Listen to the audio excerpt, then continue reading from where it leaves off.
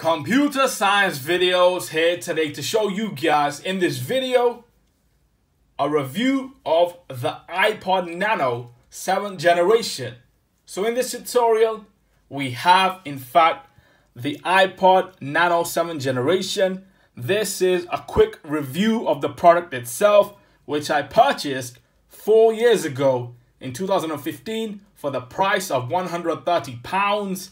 It's still good as new but do we need an iPod Nano in 2019 when we have iPhones with big screens? So we can refocus back to the iPod Nano, turn the product on from the top.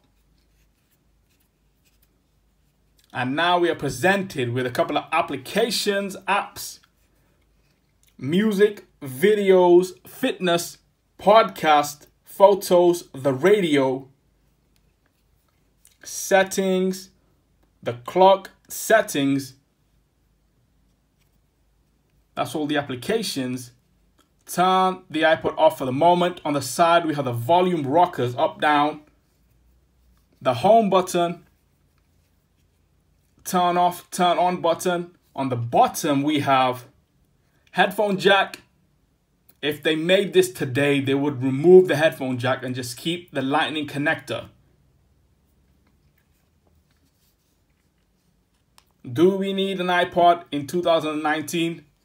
Yes and no. If you only need it for music, this is the device for you.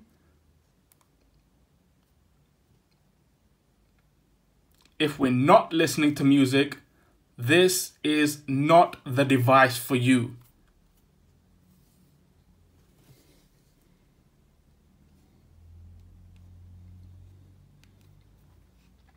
That's it for this video. I'll see you guys in my next tutorial.